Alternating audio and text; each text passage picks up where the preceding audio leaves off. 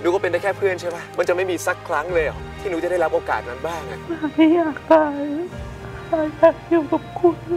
ฉันต้องร้องขอชีวิตหรือเปล่า คุณไม่ทันได้ร้อง ถ้าเขารู้ว่าคุณทชาไม่ใช่คน เขาจะรับได้ไหม